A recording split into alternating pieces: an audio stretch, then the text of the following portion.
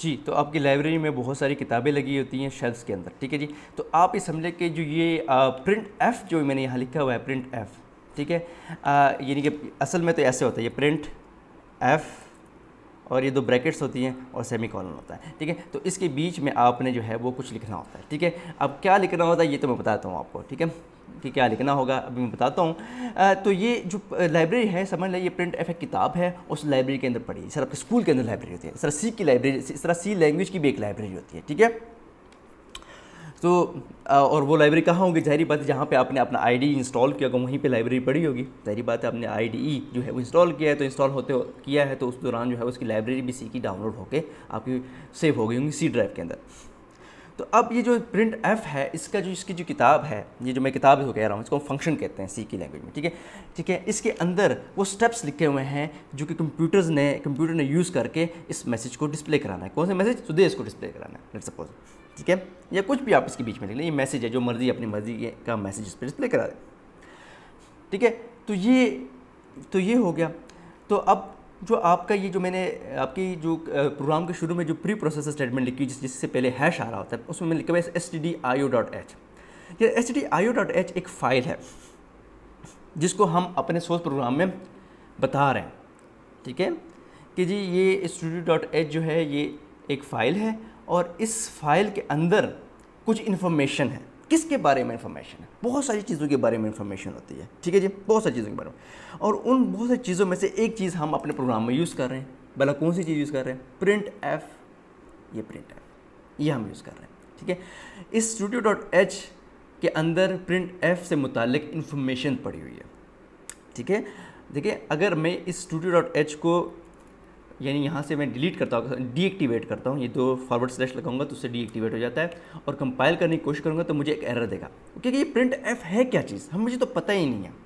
आपके कंप्यूटर का, आपकी जो आईडी है वो कहेगी, मुझे तो पता ही नहीं प्रिंट एफ़ क्या है। वो इसलिए नहीं पता उसको क्योंकि हमने ये ये लाइन जो है डीएक्टिवेट कर दी थी। अब मैंने एक्टिवेट कर दी, दोबारा आप मैं इसको कंपाइल करता हूँ। तो देखिए अब वो यहाँ पर जो है सॉरी ये वाली जो मैंने एक्स्ट्रा लिखी है लाइन ठीक है?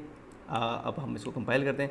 तो दोबारा मैं इसको डीएक्टिवेट करता हूँ, क्योंकि वो शायद आप समझ रहे हो कि शायद उस लाइन से ही ये अब कंपाइल करते हैं। ये देखिए एरर बता रहा है, ठीक है जी? तो ये प्रिंट एफ़ का एरर बता रहा है कि जी, ये क्या चीज़ है? मुझे तो पता ही नहीं है क्या चीज़ है।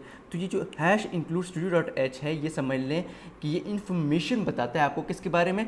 प्रिंट एफ़ के बारे में आपके किसको बताते हैं? आपके आईडी को बताते हैं इन्फॉर्मेशन ठीक है? तो अब ये जो प्रिंट एफ़ आपने लिखा, मैंने बताया कि ये किताब है सी की लाइब्रेरी के अंदर। ठीक है? वो सी लाइब्रेरी सी की लाइब्रेरी कहाँ है? जहाँ आपने आईडी इंस्टॉल किया हुआ है। डी सी प्लस प्लस जहाँ इंस्टॉल किया हुआ अब ये जो हैश इंक्लूड डॉट एच का क्या मकसद है? इसका मकसद ये है कि जब यहाँ पर प्रिंट एफ़ का इस्तेमाल कर रहे हैं तो आपके आईडी को ये बताएगा ये कि प्रिंट एफ़ के अंदर आप कौन कौन सी चीज़ें डाल सकते हैं और कौन कौन सी चीज़ें नहीं डाल सकते।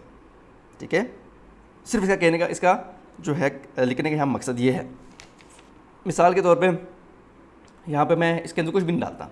एम रखता हूँ। तो क्या ये चलेगा? ये नहीं चलेगा। क्यों? यहाँ पर जो आपके स्टूडियो डॉट एच इसमें यहाँ पर बताया गया है इसको कि इस प्रिंट एफ़ के अंदर क्या क्या चीज़ डलेगी और क्या क्या चीज़ नहीं डलेगी। इसके कितने पैरामीटर्स और मीटर कितने पैरामीटर्स होंगे, कितने आर्गूमेंट्स होंगे, क्या इसकी रिटर्न टाइप हो क्या ये चीज़ आपको रिटर्न करेगी। तो इसके मुतालिक जो इन्फॉर्मेशन है वो स्टूडियो डॉट एच के अंदर पड़ी है। ठीक है? तो यहाँ पे मैं दोबारा से इसको चेंज करता हूँ, मैं सुदेश लिख लेता हूँ। ठीक है? तो ये प्रिंट एफ़ या जो भी कोई और फ़ंक्शन आप लिखते हैं, जो भी किताब लिखते हैं फॉर एग्जांपल फ़ंक्शन कहते हैं हम सी के अंदर उसको। ठीक है?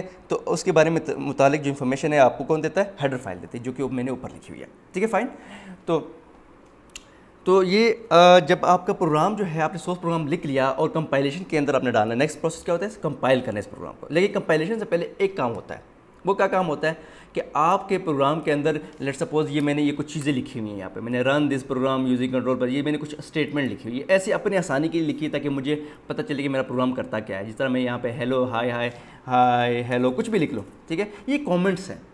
ठीक है? तो कंपाइलेशन के प्रोसेस से पहले जो हम आ, क्या करते हैं कि दो तीन काम करते हैं। एक तो कॉमेंट सारे रिमूव करता है आपका। कौन रिमूव करता है? आपका बेसिकली ये टेक्स्ट एडिटर है इसको रिमूव कर देगा इसको ठीक है?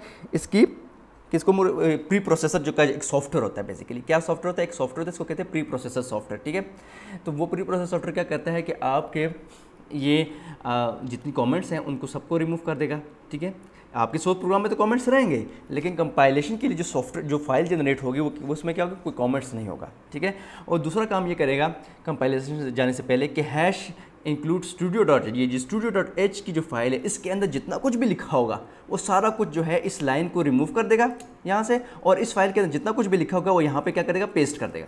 मैंने फॉर एग्जांपल अपनी तरफ़ से कुछ चीज़ें लिख दी हैं, लेकिन वो स्टूडियो डॉट एच के अंदर जितना कुछ भी होगा, वो क्या कर देगा? यहाँ पेस्ट कर देगा। तो जहाँ पे hash include studio dot H लिखा होगा, उसको रिमूव कर देगा ओमिट कर देगा लाइन को, और उसकी जगह क्या कर देगा? स्टूडियो डॉट एच के अंदर जितना भी कॉन्टेंट पड़ा होगा, वो यहाँ पर पेस्ट कर देगा। ठीक है? फाइन तो ये दो काम करेगा यहाँ पे आप। ठीक है?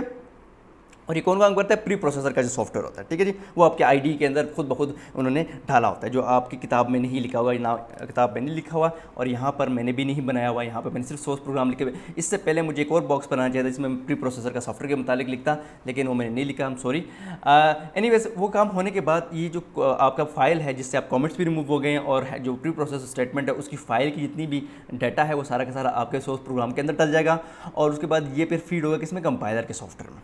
ठीक है? तो किसमें फ़ीड होगा? कंपाइलर के सॉफ्टवेयर में फ़ीड होगा। तो कंपाइलर क्या करेगा? पहले तो ये है कि जो ये मेरी फ़ाइल है, अभी तो मैंने कई बार इसको कंपाइल भी कर लिया है तो उसने बहुत सारी फ़ाइल जनरेट की, लेकिन इनिशियली क्या होता है ये? ठीक है जी? वो मैं आपको बता देता हूँ। ठीक है? तो ये आपकी माई प्रोजेक्ट के नाम से एक फ़ोल्डर बनाया था मैंने, उसके अंदर ये सारा कुछ लिखा हुआ है।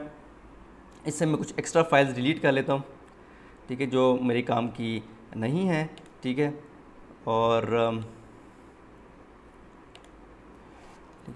तो ये आ, मैंने निकाल लिया। अभी हमारे पास जो है सिर्फ़ प्रोजेक्ट की फ़ाइल है और जो हमारी हमारी सोर्स फ़ाइल है। जो मेन डॉट सी लिखा हुआ है ये हमारी सोर्स फ़ाइल जिसके अंदर हमने सॉफ्टवेयर लिखा है। ये माई प्रोजेक्ट की फ़ाइल वो है जिसके अंदर सारे के सारा पूरा प्रोजेक्ट है। यानी कि ये जो पूरा प्रोजेक्ट है ये पूरा प्रोजेक्ट इसके अंदर ये फ़ाइल भी मौजूद है। ठीक है? तो मेन डॉट सी जो है ये आपकी सोर्स फ़ाइल है। ठीक है? मेन डॉट सी याद रखें आपकी सोर्स फ़ाइल है। ठीक है? जो यहाँ पे दी गई है मेन डॉट सी के नाम से। आप ये देखें कि जब मैं इसको सोर्स प्रोग्राम को कंपाइल करूँगा तो आप देखेंगे कि तो काफ़ी सारे काम हो जाएँगे इसमें ठीक है? और वो काफ़ी सारे कामों में जो है मैंने आ, उसमें लिंकिंग भी आ जाती सारा कुछ आ जाता है ठीक है? ये जो सॉफ्टवेयर मेरा है आईडी ये ऐसे ही काम करता है। ठीक है, कुछ सॉफ्टवेयर डिफरेंट काम करते हैं विजुअल स्टूडियो वो कंपाइल पे आप क्लिक करते हैं तो सिर्फ़ और सिर्फ़ ऑब्जेक्ट की फ़ाइल क्रिएट करते हैं, बाकी फ़ाइल क्रिएट नहीं करता, ठीक है? लेकिन चूँकि ये हम डिफ सी प्लस प्लस कर रहे हैं किताब में भी डिफ प्लस डिफ सी प्लस प्लस यूज़ हो रही है तो उसके अंदर वो सारी फ़ाइल एकदम ही जनरेट कर देता है एग्जीक्यूटिव फ़ाइल भी जनरेट करता है। तो आप सिर्फ़ और सिर्फ़ इस इस फ़ाइल के ऊपर फोकस करें, ये मेन डॉट ओ की फ़ाइल ये मेन डॉट ओ की फ़ाइल है, जब आपने कंपाइल किया तो मेन डॉट ओ की फ़ाइल क्रिएट होती है, ठीक है? ये डॉट ई की फ़ाइल क्रिएट नहीं होती। ठीक है? एक चीज़ याद रखें, ठीक है? मेरा जो आईडी है, मैंने पहले बताया कि वो कंपाइलेशन के दौरान ये एक की फ़ाइल लिंकिंग का लिंकिंग स्टेज भी कर लेता है, लेकिन ये यूजुअली इस तरह नहीं होता। यूजुअली होता है कि डॉट मेन डॉट ओ की फ़ाइल सिर्फ़ क्रिएट होती है, ठीक है? और मेन डॉट ओ की फ़ाइल क्या है? ये ऑब्जेक्ट प्रोग्राम की फ़ाइल है, ठीक है जी? क्या है? ऑब्जेक्ट प्रोग्राम की फ़ाइल है, ठीक है? जो आपकी किताब के अंदर जो है तीसरी जो ब्लॉक है उसमें लिखा हुआ है कि जब कंपाइल कर लें अपने सोर्स प्रोग्राम को तो कंपाइलर जो क्या करता है वो ऑब्जेक्ट फ़ाइल क्रिएट करता है। ठीक है, हमारे केस में कौन सी फ़ाइल उसने क्रिएट की? मेन डॉट ओ की फ़ाइल क्रिएट की। ठीक है मेन डॉट ओ की फ़ाइल क्रिएट की। अच्छा उसके बाद जब ऑब्जेक्ट फ़ाइल क्रिएट होती है तो उसके बाद डायरेक्टली ये इस तरह नहीं होता, इस तरह हमारे सॉफ्टवेयर ने किया, हमारे सॉफ्टवेयर ने तो एग्जीक्यूटिव फ़ाइल फ़ौरन क्रिएट कर दी। इस तरह नहीं होता, ये क्रिएट नहीं होती। ये हमारे जो आईडी हम यूज़ कर रहे हैं, उसने क्रिएट कर दी कंपाइल के बाद, लेकिन ऐसा होता नहीं है। ठीक है तो रियलिटी में क्या होता है कि मेन डॉट ओ की फ़ाइल क्रिएट होती है, ठीक है? डॉट सी की फ़ाइल के बाद मेन डॉट ओ की फ़ाइल क्रिएट होती है, ठीक है? और ये क्या होती है? ऑब्जेक्ट फ़ाइल होता है। ये जो वो फ़ाइल है कि इसके अंदर जो आपका सोर्स प्रोग्राम है, ठीक है? ये जो सोर्स प्रोग्राम हमने लिखा है, ये सारा वन एंड ज़ीरो में कन्वर्ट हो जाता है, ठीक है? ये वन एंड जीरोज वाली फ़ाइल है, जो आपका प्रोसेसर जिसको समझता है, जिसको जानता है, ये वो वाली फ़ाइल है। ये क्रिएट होने के बाद, ठीक है? एक मसला है तो जी, मसला क्या है? ठीक है, आप कहेंगे सर मसला तो अपनी होना चाहिए क्योंकि सारी वन एंड जीरोज़ की फ़ाइल है ये, सारी मेन डॉट ओ की फ़ाइल तो फिर तो उसको प्रोसेसर को चलाना चाहिए। बिल्कुल ठीक है, चलाना चाहिए, लेकिन सही तरह चला तो लेगा, लेकिन सही तरह नहीं चलाएगा।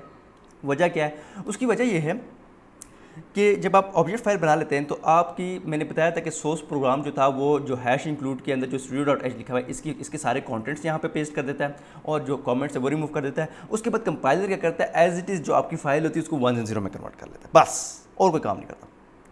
ठीक है? उसके बाद मसला यहाँ आ जाता है कि आप यहाँ पे आपने लिखा है प्रिंट एफ़ सुदेश लिखा हुआ है। ठीक है?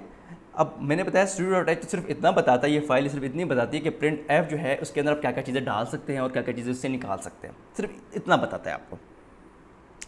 प्रिंट एफ़ कैसे काम करता है स्टूडियो डॉट एच जो है, वो सारी जो वर्किंग है उसकी, यानी जो डेफिनेशन है फ़ंक्शन की, वो नहीं बताता आपको कि कैसे काम करेगा, सारे स्टेप्स नहीं बताता आपको। सिर्फ़ ये बताता है कि इस किताब से आप क्या चीज़ किताब से के, के अंदर जो है इससे उससे रीड कर सकते हैं और क्या क्या चीज़ें जो है उसके अंदर डाल सकते हैं ठीक है? किताब के अंदर